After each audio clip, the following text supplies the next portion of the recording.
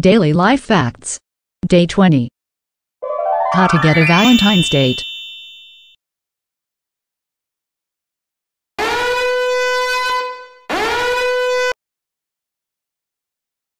Aaron, I've always loved you.